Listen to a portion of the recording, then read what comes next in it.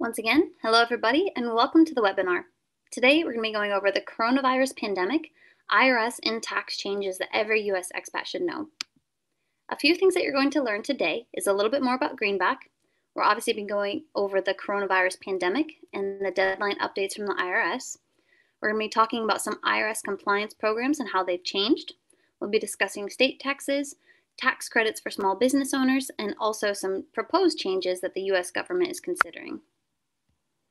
Along with me today, we have two of our awesome accountants. Jessica, she's a CPA. She has over 10 years of experience. She's been on the Greenback team for over eight years, um, and her primary focus obviously is on expat tax returns, but also multi state partnerships. She has seen everything and she's got a deep knowledge of expatriate tax issues and is extremely personal. so we're super glad.